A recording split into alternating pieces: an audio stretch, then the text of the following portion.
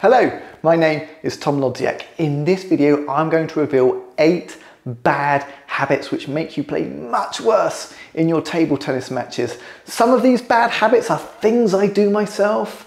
Other bad habits are things I observe other players do, but they're all bad habits. And let's see how many of these bad habits you have.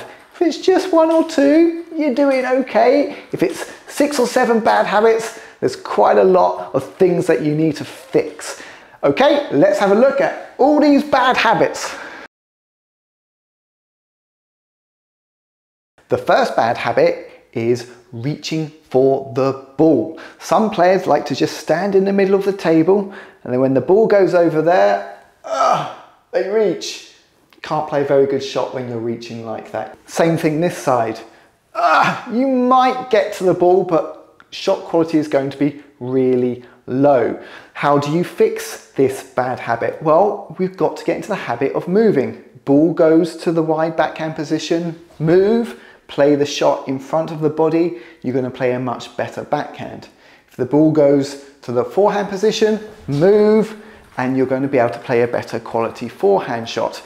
Um, so it's quite an easy fix, but it makes a huge difference. If you just reach out for the balls, your shot quality is going to be much worse. So you've got to make sure you move. Bad habit number two is trying to hit the ball uh, too hard, uh, too often, okay? Now players who often just try to whack the ball all of the time, um, when, it, when they make the shot, it tends to be a winning shot, but they usually miss way more than they get on. So they're fairly inconsistent. And in table tennis, there's only so much power you actually need to, you know, often hit a winner.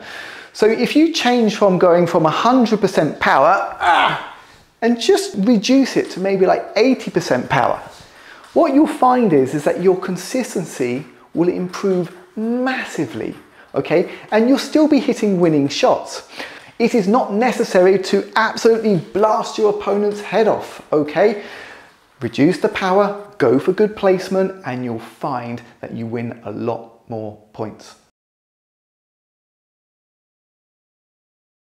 Bad habit number three is ball watching. You've played a good shot and then you stop.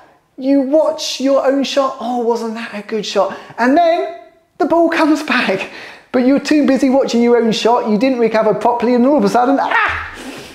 You're out of position, you're late to react, and you mess the next shot up. So to fix this, I think there's a very easy thing that you can do. Um, no matter how well you play a shot, you keep telling yourself that the ball is coming back. You expect the ball to come back every time. That forces you to recover properly, to then observe your opponent to see what shot they're playing, and then you can play another attack if necessary.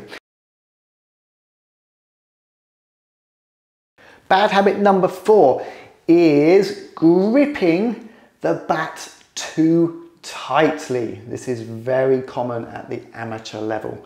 Some players, they really strangle the handle.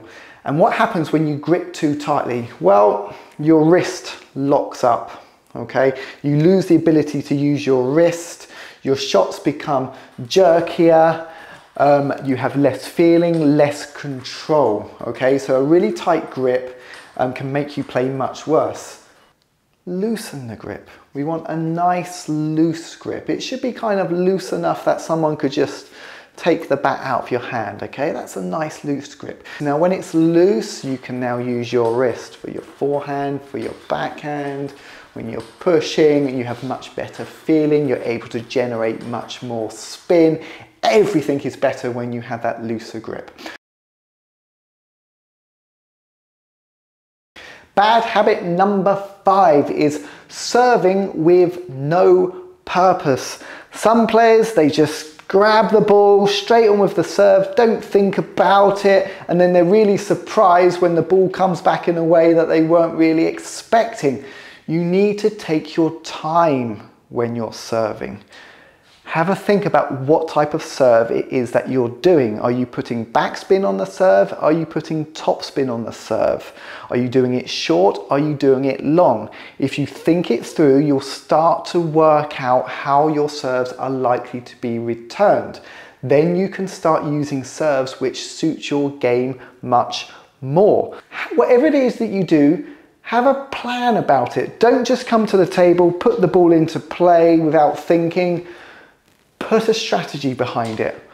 What serve are you going to do? Where do you need to recover to? What shot ideally do you want to play next? Then you start to develop a much stronger service game. Bad habit number six is pushing long balls. I do this all the time. So your opponent gives you some backspin, some long backspin, and instead of attacking, you decide to play safely and go for a push. Now what's wrong with that? Well, it's okay up to a level, you know, you can get away with keep pushing if you want, but if you really want to improve, if you want to get better and play at a higher level, anytime your opponent pushes and that second bounce is coming off the end of the table, try to topspin it. Okay, then you're gonna develop those shots, you're gonna feel much more confident, and honestly, you then start raising your level. You start beating players who maybe you struggled against in the past. Bad habit number seven is predictable ball placement. So when you play your backhand, if you always play it cross court in that direction, and when you play your forehands, you always play cross court in that direction, it becomes much easier for your opponent to know what it is you're going to do. What should you do instead? Well, you do the opposite. You vary your ball placement.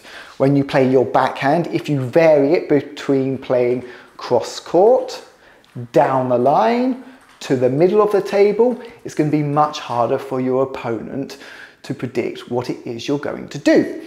Same thing on the forehand. You could play your forehand cross court, you could play it down the line, you could play it to the middle. You'll be amazed at how effective this is and how much more difficult your opponents will find it to play against you.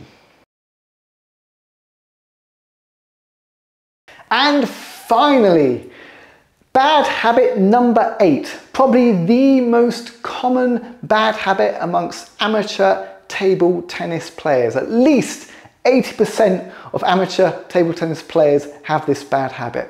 And this bad habit is standing too upright. And I am also very guilty of this. When you stand too upright, it makes it harder to move from side to side.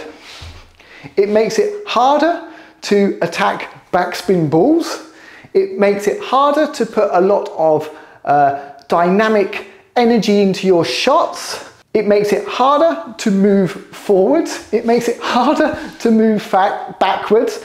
So much about why we end up playing poorly in table tennis is so often related to the stance of getting upright, too upright, okay? What should we do instead? Well, we need to get into a proper table tennis stance. We need to get ourselves much lower. We need to have the bend in our knees, leaning forward, have that little bit of bounce. From this stance, you're able to move from side to side a lot easier. Looping backspin balls becomes much easier. Getting a lot more energy into your shots becomes much easier your whole game raises up a level. Um, so if you find yourself playing bolt upright, bad, bad habit. Try to get yourself low, bend those knees, then you'll find that you can play much better table tennis. Thank you very much for watching. How many of those bad habits do you have? Let me know in the comments section below. If you enjoyed this video, please subscribe to my channel or take a look at some of these other videos that I've made. Okay, I'll see you all again soon. Bye bye.